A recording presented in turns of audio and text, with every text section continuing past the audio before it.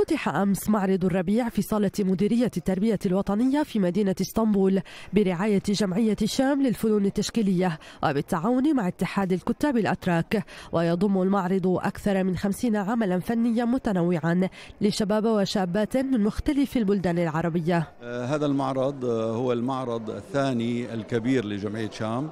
جمعية شام إلى معرضين سنويا. المعرض الخريف بيكون غالبا بالشهر العاشر. ومعرض الربيع غالبا بيكون بآذار. آه هذا المعرض هو معرض للشباب. اشترك فيه حوالي آه 40 فنان آه تشكيلي وحوالي 70 عمل قدموا. فيها رسم فيها مشغولات يدوية فيها سيراميك وفيها فنون تطبيقية أخرى.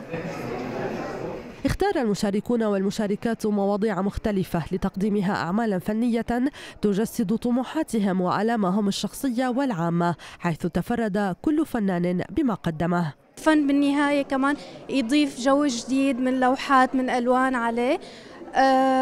مبسوطة كتير بمشاركتي هون في إقبال رغم أنه بقلب الأسبوع رغم أنه في تعب كتير.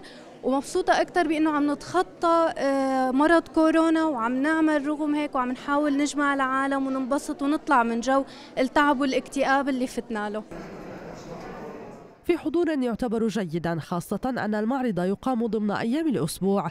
الأمر الذي أعطى أملا للمشاركين بقيمة ما أنجزوه وأن الفن ما زال رغم كل الظروف وسيلة تواصل فعالة. بالنسبة للمواضيع الصراحة أني ركزت أول موضوع هو موضوع الحرب بشكل عام باعتبار إحنا دولنا العربية تكون بها مواضيع حرب جدا هواية باعتبار يعني تقريبا ما حد مرتاح بالدول العربية. لكن أنا ركزت عليها بأسلوب الخاص اللي هو أسلوب البوب آرت. فكانت أول لوحة لي اللي هي الصراع ما بين الوجوه. الوجوه ممكن اليائسة أو الوجوه اللي تطلع للمستقبل ما تعرف شنو اللي موجود والوجوه اللي فيها خوف بالداخل لكن بأسلوب الخاص. كذلك كان لفن الرسم بالتنقيط حضوره المميز بأياد سورية. استطاعت تطويع الفن ليناسب ثقافة الاستهلاك ويصبح سلعة مطلوبة. هي المعارض بتفيدنا بالتسويق في المقام الأول وبعدين نحن يعني عم نشتغل على السوشيال ميديا المتابعين والزباين بيعرفونا عن بعد هون عم بصير فرصة حلوة كثير لنتعرف عليهم يتعرفوا علينا وجها لوجه نحكي أكثر عن منتجاتنا يشوفوها على الواقع حتى يلمسوها فهي فرصة حلوة كثير للتعارف المبيع بيجي في المقام الثالث. أربعون شابا وشابة وضعوا لوحاتهم وأعمالهم الفنية داخل إطار الأمل بانتظار أن تتحقق أحلامهم.